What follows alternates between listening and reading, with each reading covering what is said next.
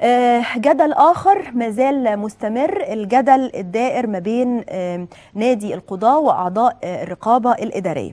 النهاردة بيعقد نادي قضاة مجلس الدولة مؤتمر صحفي تحت عنوان مجلس الدولة في عيون فقهاء مصر بعدد وبحضور عدد كبير من أساتذة ورجال القانون في مصر ويتم مناقشة اختصاصات مجلس الدولة عبر العصور المختلفة.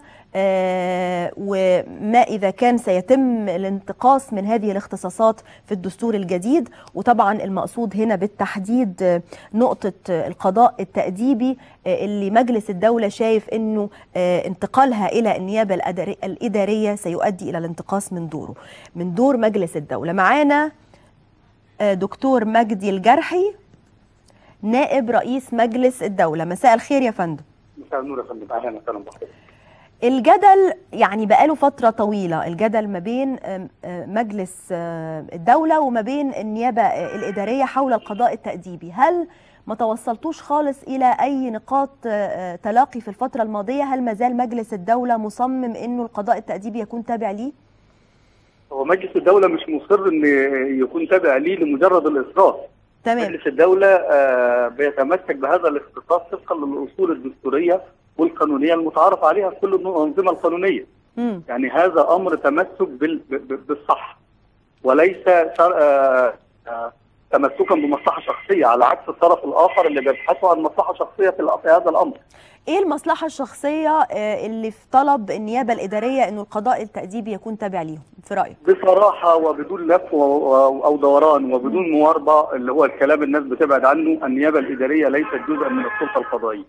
هي هيئة قضائية وليست سلطة قضائية. ب- بنص القانون بتاع النيابة الإدارية اللي هو رقم 14 لسنة 89 مم. هم وخاضعين لوزير العدل وخاضعين ووزير العدل جزء من السلطة التنفيذية ولا يتمتعوا بالاستقلال ولا يحملوا صفة القضاء وبالتالي هم جهة تحقيق فقط مم.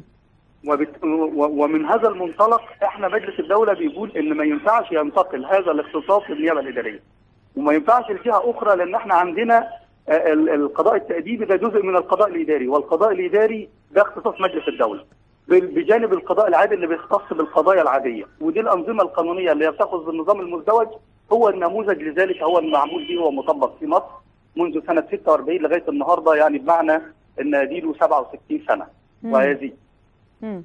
آه طيب هل يعني انت حضرتك شايف اي حل في الأفق لهذه الأزمة لأنه تقريبا الدستور قرب آه، نسخته النهائية تطلع وأكيد هيبقى فيه ذكر آه، لهذه ال- الجزئية يعني آه، المؤتمر اللي هيعقد النهارده إيه المرجو منه أو إيه أهدافه تحديدا؟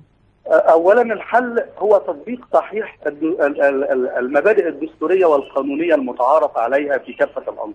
ده الحل والمؤتمر ال- ال- الذي سينعقد النهارده في الثانية ظهرا آه، في مقر نادي قضاه مجلس الدولة هو مدعو ليه عدد كبير من أساتذة القانون الدستوري بصفة خاصة والقانون العام بصفة عامة على مستوى آه، الجمهورية من مختلف الجامعات لتوضيح وجهة النظر ال- اللي أنا بتكلم مع حضرتك فيها اللي هي آه، بالنسبة للأعراف والمبادئ الدستورية المتعارف عليها في مختلف دول العالم في هذا. الخصوص. كلها بتجمع على أن الأنظمة القضائية لا تخرج عن أحد اثنين يا إما آه، قضاء موحد بيشمل القضاء كل الاختصاصات يا إما قضاء مزدوج اللي هو النظام اللاتيني آه، أو النظام الفرنسي اللي هو مطبق في مصر بياخذ من القضاء الإداري لوحده والقضاء آه، العادي لوحده.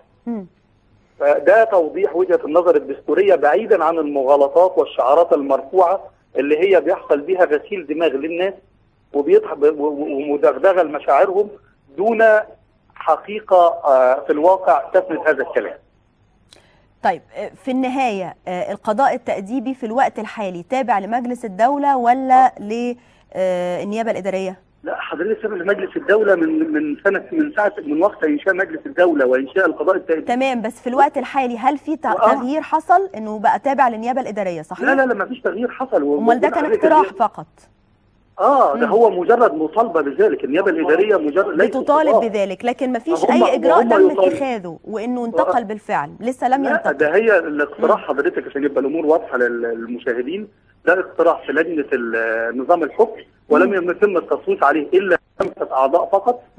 طبقا لل- للمضابط بتاع اللجنة ولسه سيعرض على لجنة الخمسين النهارده أو بكرة تقريبا للتصويت عليه على هذا الاقتراح أو الاقتراح برفضه أنا ما أعرفش لجنة الصياغة انتهت لإيه. نعم. آه، آه، في هذا الأمر لكن آه، رأي لجنة الصياغة اللي هي مكونة من لجنة العشرة بالإضافة إلى خمسة من لجنة الخمسين آه، على لجنة الخمسين للتصويت عليه. نعم.